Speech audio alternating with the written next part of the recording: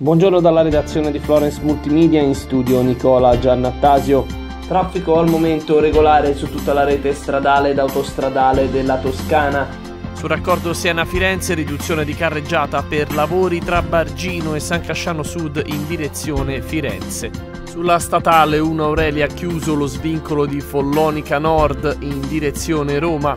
Sulla statale 3 bis Tiberina riduzione di carreggiata per fondo stradale dissestato tra Valsavignone e Canili e tra Madonnuccio a Poggiolino e San Sepolcro Nord. Sulla statale 67 Tosco-Romagnola senso unico alternato per lavori tra Scopeti e Dicomano in entrambe le direzioni. Muoversi in Toscana è un servizio realizzato in collaborazione con Regione Toscana, Città Metropolitana di Firenze e Comune di Firenze. Buon viaggio!